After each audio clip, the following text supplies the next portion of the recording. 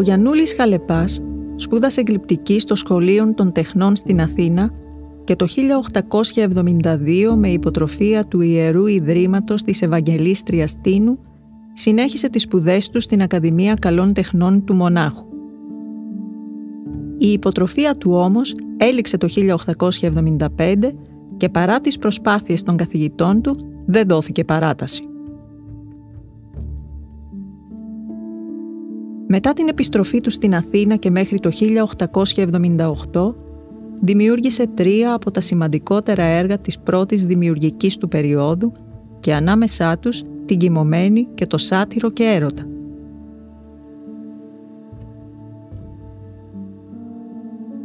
Το χειμώνα του 1878 εκδηλώνει τα πρώτα συμπτώματα αποκλίνουσας συμπεριφοράς.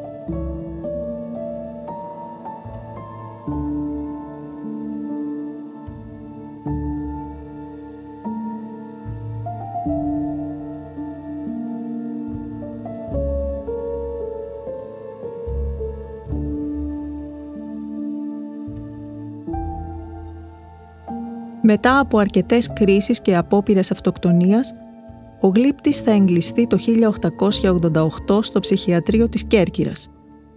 Η διάγνωση ήταν άνοια. Στο ψυχιατρίο παραμένει ως το 1902, ένα χρόνο μετά το θάνατο του πατέρα του, οπότε η μητέρα του τον παίρνει πίσω στον πύργο της Τίνου.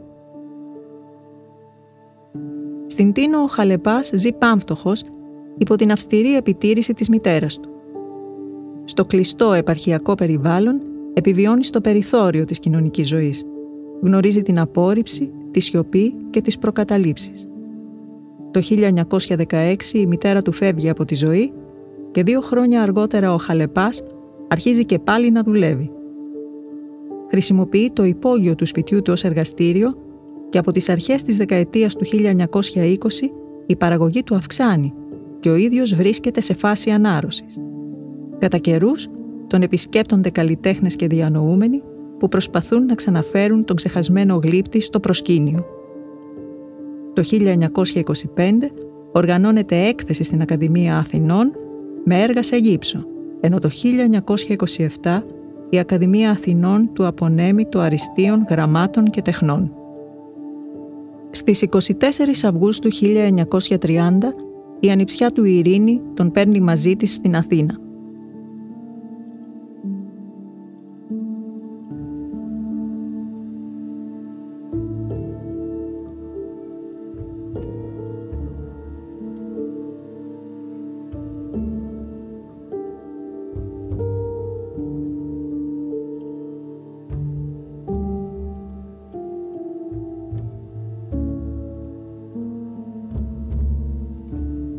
Τα τελευταία 8 χρόνια της ζωής του ο Γιαννούλης Χαλεπάς έζησε σε ένα γαλήνιο οικογενειακό περιβάλλον στο σπίτι του Βασίλη και της Ειρήνης Χαλεπά στην οδό Δαφνομήλη 35. Μέσα σε ατμόσφαιρα ηρεμίας, γενικής αναγνώρισης και αποδοχής ελάμβανε παραγγελίες και εργαζόταν εντατικά ως το τέλος. Στις 15 Σεπτεμβρίου 1938 ο Γιαννούλης Χαλεπάς έφυγε από τη ζωή.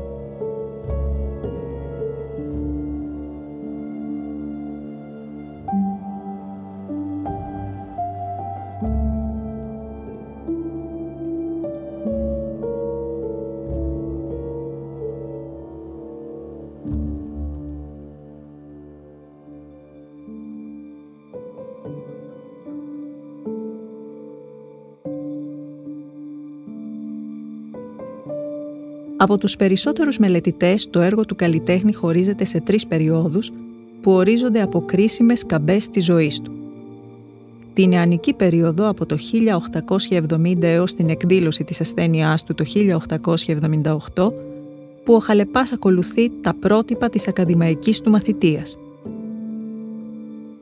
Την περίοδο από το 1918, όταν άρχισε και πάλι να δουλεύει μετά το θάνατο της μητέρας του, έως το 1930 που έζησε και εργάστηκε στην Τίνο.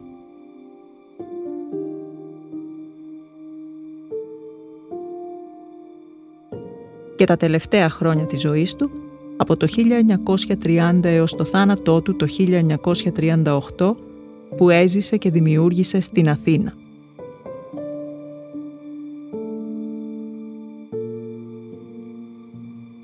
Τα σχέδια της πρώτης περίοδου του καλλιτέχνη δεν είναι γνωστά.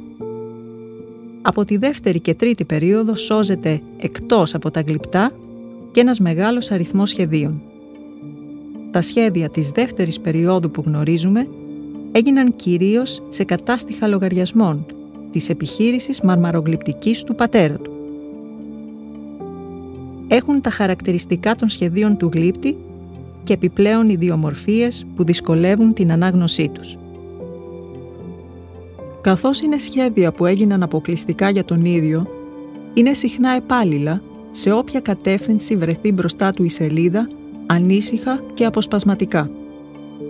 Χαρακτηριστικά είναι τα πολλά σημάδια τράπουλας, σπαθί και κούπα, σύμβολα του ανδρικού και του γυναικείου φύλου που χρησιμοποιεί με διακριτικό τρόπο. Τα σύμβολα αυτά υποχωρούν σταδιακά και στην τρίτη περίοδο εξαφανίζονται σχεδόν τελείως. Στην ύστερη περίοδο της Τίνου ανήκουν οι περισσότερες σαγκίνες και σέπιες του καλλιτέχνη.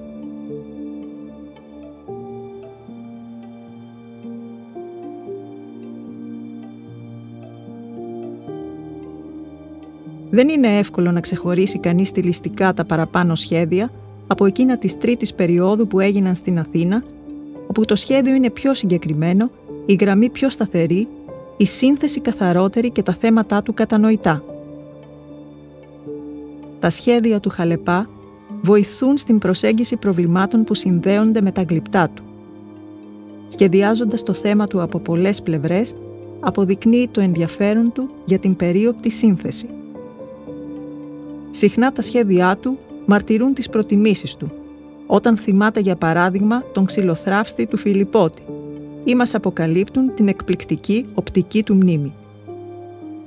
Συγκλονιστικές μαρτυρίες της σκέψης του, του εσωτερικού του κόσμου, αποτελούν οι αυτοπροσωπογραφίες του που συχνά εμφανίζονται ανάμεσα σε άλλες φαινομενικά άσχετες σκηνές.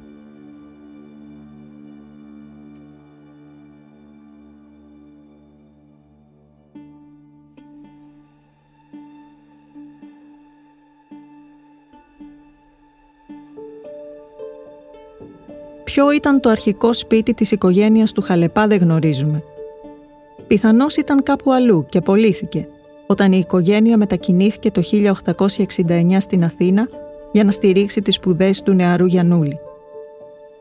Το σπίτι μουσείο του Γιαννούλη Χαλεπά, κτίσμα πιθανότατα της δεκαετίας του 1880, είναι καλοφτιαγμένο και παραπέμπει σε έμπειρο τεχνίτη, προφανώς τον πατέρα του Γιαννούλη, Ιωάννη Χαλεπά, ο οποίος σχεδίασε το σπίτι για να στεγάσει την οικογένειά του και την επιχείρησή του.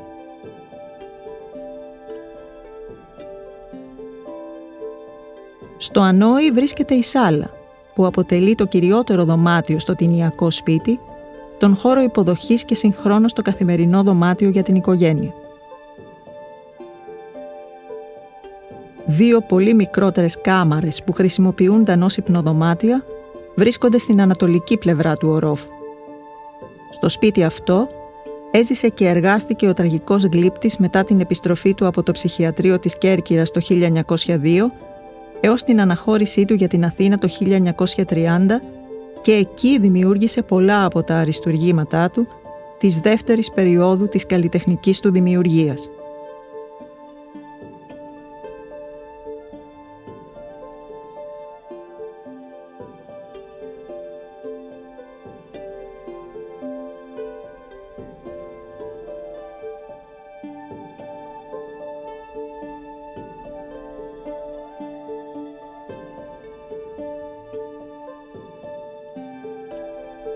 Από προφορικές μαρτυρίες και βιβλιογραφικές αναφορές εικάζεται ότι ο Γιαννούλης Χαλεπάς έκανε σχέδια και στους εσωτερικούς στίχους στο ανόη της οικίας. Μετά το θάνατο του καλλιτέχνη, οι κληρονόμοι πούλησαν το σπίτι. Άλλαξε η εξωτερική όψη, ασπρίστηκαν οι τείχοι και τα γραφήματα καλύφθηκαν.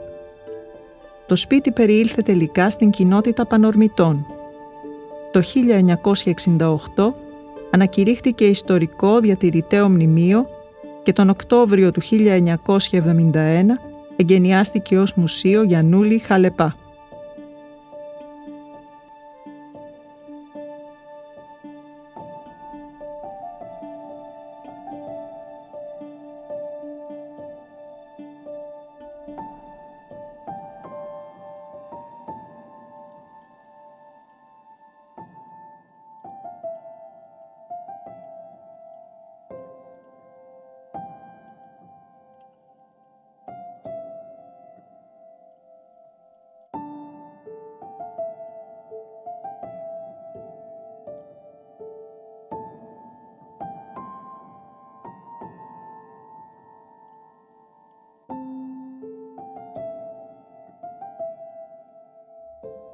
Πραγματοποιήθηκε αρχικά μακροσκοπική εξέταση φωτογράφηση σε μεγάλη ανάλυση και ακολούθησε η εξέταση με τη βοήθεια ψηφιακού μικροσκοπίου σε περιοχές φθορών και απολειών του επιχρήσματος, αλλά και σε μικρές δοκιμαστικές τομές.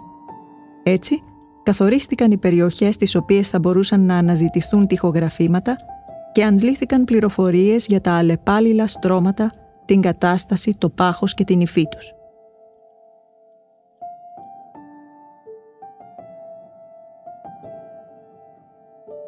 Επιπλέον για την καταγραφή της κατάστασης των επιφανειών των τείχων, πραγματοποιήθηκε φωτογράφηση με εφαπτώμενο φωτισμό, χρησιμοποιώντας ορατή ακτινοβολία. Με αυτόν τον τρόπο αναδείχτηκε το ανάγλυφο, η άλλοτε ηλία και άλλοτε κοκόδης επιφάνεια, η άλλοτε συμπαγής και άλλοτε εύθρυπτη υφή, οι πολλαπλές επιστρώσεις, οι ρογματώσεις και οι αποκολλήσεις του κονιάματος. Διακρίνονται επάλληλα στρώματα επιχρησμάτων καθώς και διαφορές στη μορφολογία τους που οφείλονται στα μέσα εναπόθεσης και τα υλικά επίχρησης. Διαπιστώθηκε ότι τα γραφήματα βρίσκονται σε διαφορετικά βάθη και ανάμεσα σε περισσότερα από δύο στρώματα. Γι' αυτό και δεν συνίσταται η μηχανική αφαίρεσή τους. Το ερώτημα που προέκυψε ήταν να βρεθεί μία μέθοδος που χωρίς επέμβαση πάνω στους τοίχους θα μπορούσε να κάνει το αόρατο ορατό και να μας οδηγήσει στα σχέδια του καλλιτέχνη. Τη λύση έδωσαν οι ψηφιακές απεικονιστικές τεχνικές. Από όλες τις διαθέσιμες επιστημονικές μεθόδους που παρέχει η σύγχρονη τεχνολογία στον τομέα της διαγνωστικής των έργων τέχνης και των μνημείων, η μόνη μη επεμβατική μέθοδος που συνδυάζει άμεσα αποτελέσματα και επιτόπου εφαρμογή είναι η μέθοδος της ανακλαστογραφίας θερμογραφίας. Η μέθοδος αυτή που εφαρμόστηκε εδώ για πρώτη φορά στην εξέταση γραφημάτων αξιοποιεί τη δυνατότητα της υπέρυθρης ακτινοβολίας να διαπερνά λεπτά στρώματα και να βλέπει στο εσωτερικό των επιχρησμάτων. Συνολικά σαρώθηκε επιφάνεια 33 τετραγωνικά μέτρα με την ειδική κάμερα από το πάτωμα μέχρι τα 2 μέτρα τμήματικά ανά 20 επί 20 περίπου εκατοστά.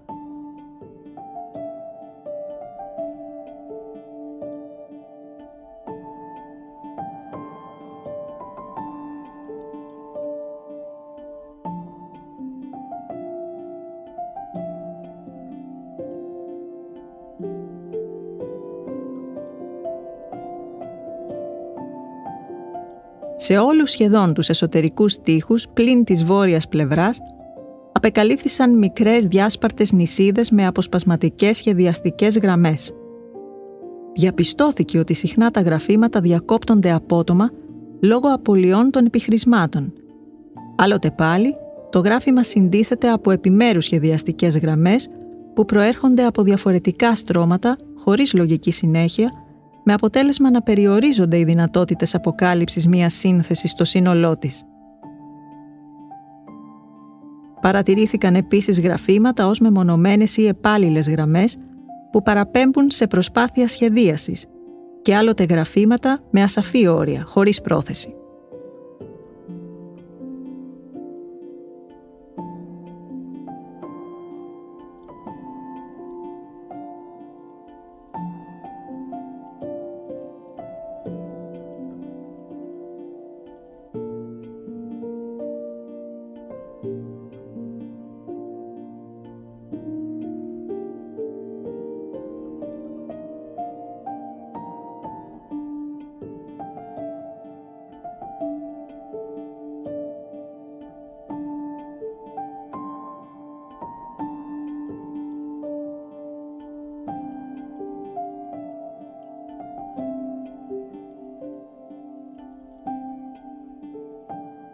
Μεγαλύτερος αριθμός γραφημάτων αποκαλύφθηκε στη σάλα και ειδικότερα στο δυτικό τοίχο, δίπλα στην είσοδο του σπιτιού καθώς και στον ανατολικό και νότιο τοίχο.